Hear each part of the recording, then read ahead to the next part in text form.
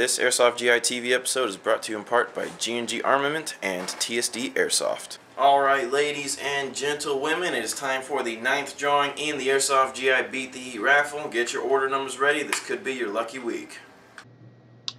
Alrighty, it's time to draw our five new winners for week 9 of the Beat the Heat raffle. As soon as I push this button, five new winners will be named. Alright, just doing a quick check. Looks like five brand new order numbers. Yep, five brand new order numbers. Our first place winner this week will be winning a Classic Army Full Metal Tactical Carbine. Our second place winner will be winning a UTG MK96 Sniper Rifle. Our third place winner will be winning the WE-MEU Gas Blowback Pistol.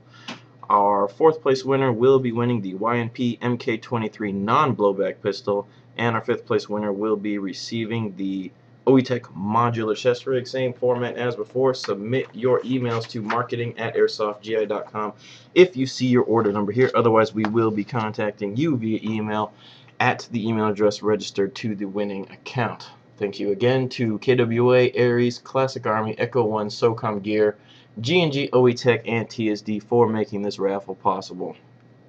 Yay! Alrighty, those are the winners for week 9 of the Beat the Heat raffle. During week 8, something interesting happened. Our first place raffle winner actually canceled their order, so that order number is not valid to win a prize.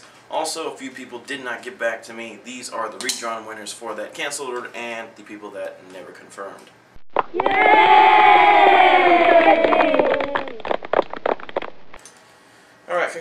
congratulations to you redrawn raffle winners. Hopefully you'll be able to contact me at marketing at airsoftgi.com so I don't have to redraw for those raffle numbers. Remember, on October 27th, the Tuesday before Halloween, Zombie Talk on OPSECairsoft.com. Check them out. It's going to be a really cool show, radio show that they're going to have there. I'm going to try to make it down. Hopefully we can discuss zombie tactics and gear and survival methods. That's all for this week's Beat the Heat raffle. I'll see you guys next Friday.